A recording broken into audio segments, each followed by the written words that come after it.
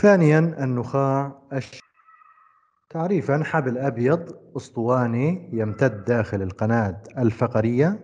عليه انتفاخان رقبي وقطني يستمر النخاع الشوكي في الأعلى بالبصلة السيسائية وينتهي في الأسفل في مستوى المنطقة القطنية إذ يستدق في نهايته السفلية مشكلا المخروط النخاعي. ينتهي بامتداد هو الخيط الانتهائي الذي يثبت النخاع الشوكي في نهاية القناة الفقرية. ما هي بنية النخاع الشوكي؟ دقق في الشكل إنه مقطع عرضي في النخاع الشوكي. نلاحظ وجود منطقتين متميزتين هما. لاحظ هنا بالشكل مادي رمادي بالوسط بشكل حرف X ومادة بيضاء محيطي. الرمادي في وسط المادة الرمادي توجد قناة تسمى قناة السيساء وهي التي تحوي قلنا السائل الداخلي. لاحظ أن المادة الرمادي مكون من قرن أمامي أو قرنين أماميين صار وقرنين خلفيين. المادة البيضاء تنقسم بعدة أثلام منها ثلمين رئيسيين أمامي ألاحظ أنه آه، واسع وقليل العمق لا يصل إلى المادة الرمادي بينما خلفي ضيق وعميق يصل إلى حدود المنطقة الرمادي. وأيضا هناك أثلام جانبي تؤدي إلى آه، قسم المادة البيضاء إلى حبال. لاحظ هنا حبل أمامي وحبل خلفي وحبل جانبي. طبعا في حبلين أماميين حبلين خلفيين حبلين جانبيين. ست حبال. إذا ثلمين الأمامي والخلفي وأربعة أثلام جانبي تؤدي إلى قسم المادة البيضاء إلى ست حبال حبلين أماميين وحبلين خلفيين وحبلين جانبيين. المركز طبعا قلنا توجد المادة السنجابية متوضعة حول قناة السيساء وتبدو بشكل حرف إكس. لها قرنان أماميان عريضان وقصيران. وقرنان خلفيان ضيقان وطويلان. في المحيط ألاحظ وجود المادة البيضاء وتبدو مقسومة إلى نصفين متناظرين بوسط ثلمين. الثلم الأمامي عريض وقليل العمق لا يصل إلى حدود المادة السنجابي.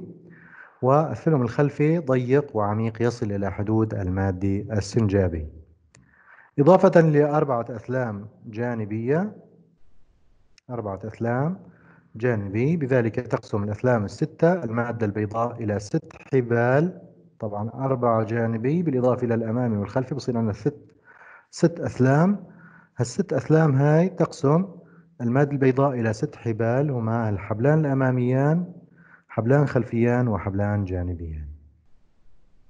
ما الخلايا التي تتكون منها المادة السنجابية للنخاع الشوكي؟ ولاحظ وجود خلايا صغيرة محاورها قصيرة تدعى العصبونات الموصلي وهي تربط العصبونات المتجاورة مع بعضها. خلايا كبيرة نجمية هاي تكون آه، في رؤوس القرون الأمامي للمادة الرمادي محاورها طويلة تخرج من القرون الأمامية عبر الجذور الأمامي للعصب الشوكي. وتذهب إلى أين تذهب؟ تذهب هذه إلى الألياف العضلية لذلك تدعى عصبونات محركة. عصبونات محركة. يعني تأخذ الأوامر الحركية إلى العضلات. عندنا النوع الثالث من الخلايا هي عبارة عن الخلايا الإعاشية وأيضا نشاهد خلايا حبلية وهذه الخلايا الحبلية عديدة. جسمها في المادة السنجابية و تعبر محاورها المادة البيضاء لتصل بين مستويات مختلفة من النخاع الشوكي. ما أنواع الألياف التي تتكون منها المادة البيضاء للنخاع الشوكي؟ تتكون من ألياف عصبية مغمد آه، مغمدة بالنخاعين فقط وتقسم إلى نوعين. هي الألياف القصيرة الموصلي وهذه آه، تشرك طبقات النخاع بعضها ببعض. عندنا الألياف الطويلة وهذه تربط النخاع الشوكي بالمراكز العصبية الأخرى وتجتمع لتشكل حزما بعضها طبعا يكون حسي صاعد ينتهي في الدماغ وبعضها حركي نازل ينشأ من الدماغ كالحزم الهرمية. الآن آتي إلى آه، حل أسئلة مراجعة الدرس. اختر الإجابة الصحيحة لكل مما يأتي. لاحظ هنا واحدة مما يأتي ليست جزءا من جزء الدماغ. هل هي المهاد أو البصر الاستسيائي أم الدماغ المتوسط أم الحلبي الحلقي. طبعا هي المهاد. يتصل البطين الثالث مع البطين الرابع عن طريق قناة سيلفيوس حدد موقع كل من البنى العصبي الآتي الجسم المخطط. طبعا هنا راح آه، نكتب تعريف هو أين يوجد؟ مشان إذا أجانا هيك أو هيك سؤال. كتلة سنجابية وهي من النوى القاعدي. طبعا أين يوجد؟ هون هون الإجابة. يوجد في قاعدة كل من البطينين الجانبيين. قناة السيساء. هي قناة في مركز المادي الرمدي للنخاع الشوكي. يملأها السائل الدماغي الشوكي. طبعا سائل الدماغ الشوكي داخلي. الوطاء وهو منطقة من الدماغ البيني يشكل أرضية البطين الثالث وتتعلق به الغدة النخامية. البطين الرابع جوف يقع بين المخيخ والبصلة السيسائية والجسر فارول وهو مملوء بالسائل الدماغي الشوكي الداخلي أيضا.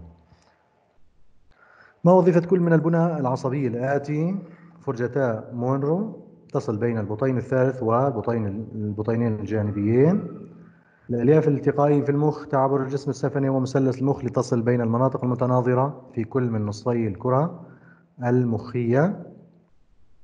الحاجز الدماغي الدموي يمنع وصول المواد الخطرة التي قد تأتي مع الدم وينظم البيئة الداخلي لخلايا الدماغ. إلى هنا يكون قد انتهينا من آه، درس منشأ وأقسام الجهاز العصبي. آه، إلى اللقاء في درس قادم.